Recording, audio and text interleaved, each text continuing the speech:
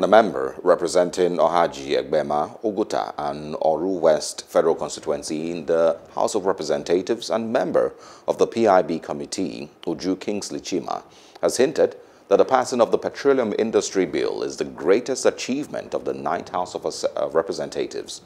He said this while explaining the benefits of the bill to the media at the National Assembly.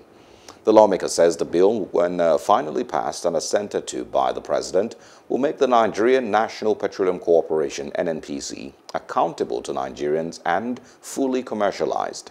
This, according to him, will subsequently provide a very organized governance policy in the oil and gas sector. What the National Assembly or the bill has been able to solve is, okay, don't worry, keep whatever thing you feel you can spend in your proxy, in quotes, security management. Now, the host communities becomes your own security in terms of managing your assets within that locality. And what this means is, with the 5%, the host communities should be able to provide electricity within the context of their fund available, should be able to talk about infrastructure like roads, should be able to talk about scholarships, should be able to talk about even having internal security within the local village.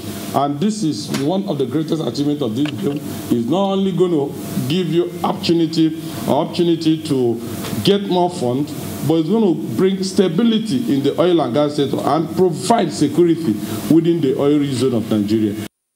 Hello. Hope you enjoyed the news. Please do subscribe to our YouTube channel and don't forget to hit the notification button so you get notified about fresh news updates.